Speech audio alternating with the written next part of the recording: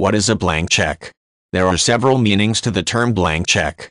In the literal sense a blank check can refer to any unwritten and unsigned check attached to a specific bank account. Until you sign the check and write it out for an amount it's only a potential document for paying money out of your account to someone else. In some cases people will sign a blank check when they don't know the amount they need to pay or repay to someone. If you send a friend to the store to pick up a few things for you you might give them a signed blank check so that the friend can write in the amount and hopefully no more as a means of reimbursement. Of course if you hand a signed blank check to someone there is the possibility they could write in any amount they wish. Provided funds existed in your account to cover that amount you could end up with an empty bank account. This has led to the more symbolic meaning of blank check or carte blanche which is often used in politics. When someone is given carte blanche they are essentially being given permission to act in whatever way seems fit and appropriate often in service to a government or government official.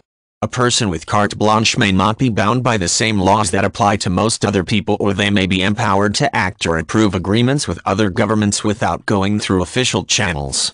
Carte blanche might also be given to a person managing a business so that the person thinks outside the box and does whatever he she feels is necessary to make the business better. In finance and investing some businesses are referred to as blank check businesses. These are companies which are usually new or in the developmental stages of opening and they may not have a specific business plan. The success of the company may depend upon acquiring another company upon which a business plan will be based. Alternately they may be started in the hopes that another company will scoop them up and make them profitable. Such corporations run on a day-to-day -day basis and usually issue penny stock which is sold at an inexpensive amount as an investment since if the business becomes profitable the stock can be sold at a high payout.